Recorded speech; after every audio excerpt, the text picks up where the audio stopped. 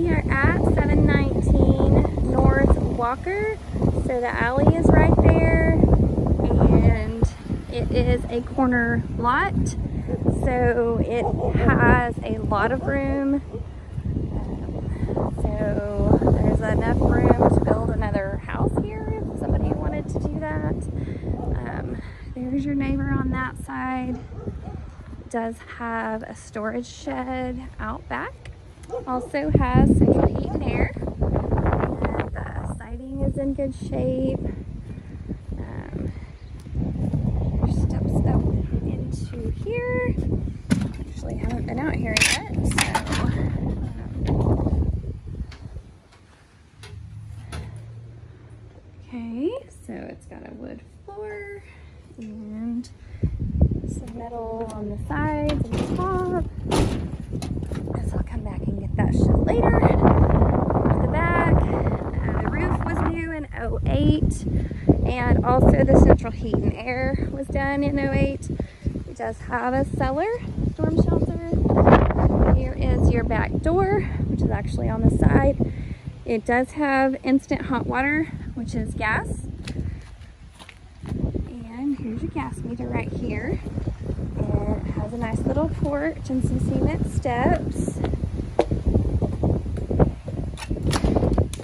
And on into the house. Here is your living room. So um, that will stay. And then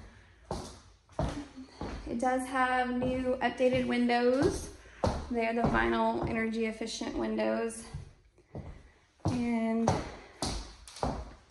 this is the laundry room right here. Um, there's the back door and it's got four windows right there that you can see through. Really nice light. And then um, kitchen here.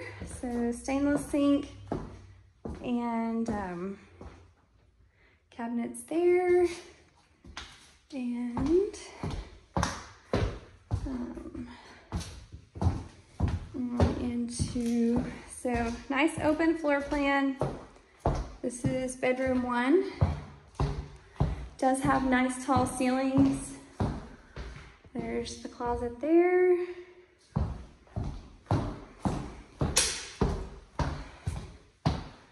And bedroom two.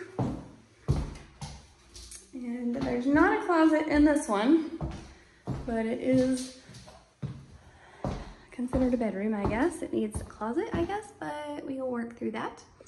It is cash or conventional as is. So I'm just telling you everything I know. Here's the bathroom. It does have a vinyl like linoleum in there. And then um, here it is.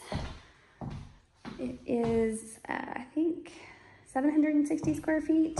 So not a whole lot to clean. It um, is really cold and rainy today. Um, nice shade tree here when you walk out. So um, this is Kelli Rippetoe, United Country Exploration Realty, 580-821-0934. Thanks for watching.